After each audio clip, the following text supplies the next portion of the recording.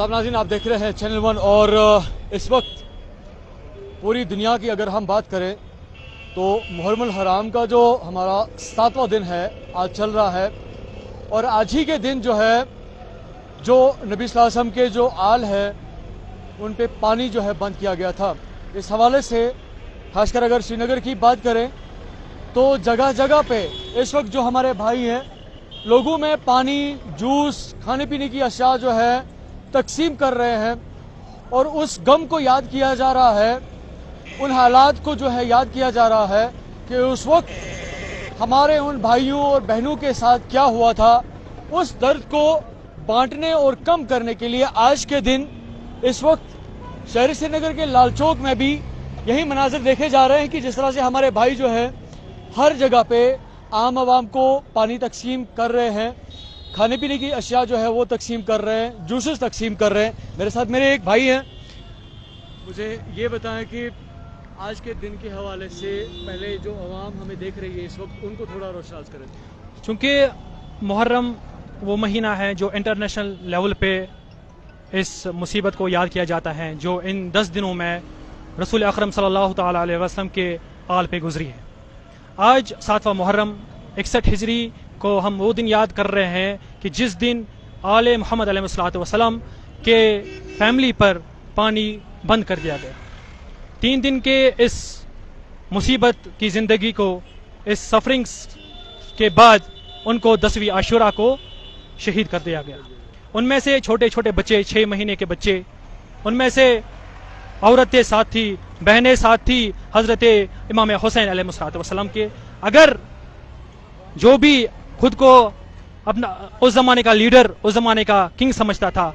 अगर इमाम हुसैन वसल्लम की कोई भी गलती नौजबिल्ला होती तो अपने बच्चों को क्यों साथ ले आते? मगर अगर पानी बंद करना था तो हज़रत इमाम हुसैन वसल्लम पे पानी बंद करना था। मगर छह महीने के बच्चे का क्या खता थी? बेआई जम बिन कुतिलत। उनको किस वजह से शहीद किया गया?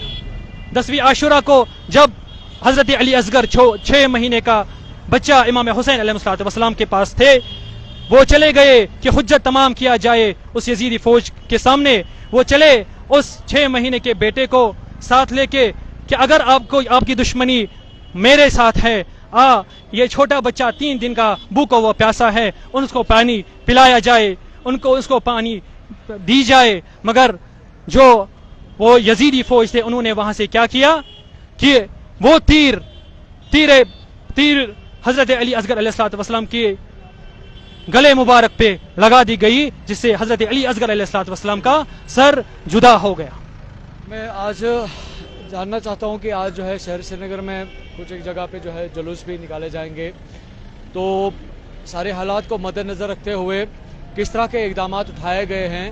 कि जो पिछले साल कुछ ना, खुशगवार वाक़ हुए थे, आज किस तरह से उनको जो है कंट्रोल किया जाएगा अपनी लेवल पे? जैसे सिक्योरिटी तो पहले से इन जुलूसों में रही होती है, जैसे हसब कदीम, इन जुलूसों में हर, हमेशा सिक्योरिटी होती है।